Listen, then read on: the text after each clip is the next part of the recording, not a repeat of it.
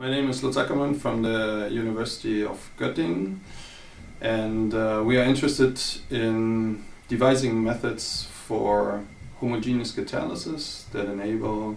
sustainable solutions to different areas in chemistry but also beyond the field of chemistry with respect to, for example, uh, late stage modifications of uh, bio uh, molecules such as peptides or also applications, potential applications in material science.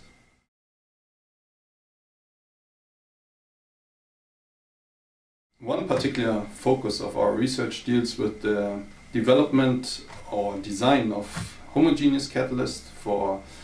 um, CH bond activation in an organometallic fashion uh, where we try to cleave not only strong CH bonds but also uh, partly other strong um, carbon heteroatom bonds. And uh, this we use in many ways. As I mentioned before, we try to develop also tools for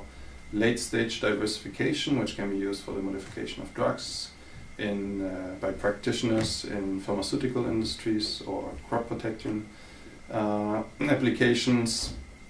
We're trying to implement this for the design of uh, new functional materials, also with improved uh, properties.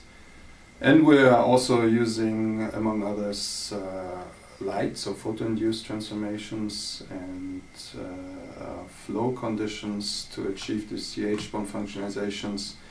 in a sustainable way, um, also with applications to sustainable or if you want green uh, chemistry.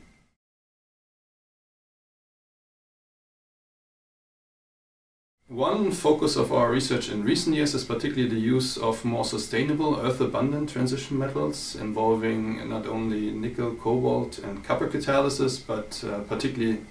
less toxic manganese and iron catalysts, uh, which are not only uh, less expensive but they are also more user-friendly and it's very exciting to see uh, applications of these systems uh, also by practitioners uh, in pharmaceuticals and chemical industries.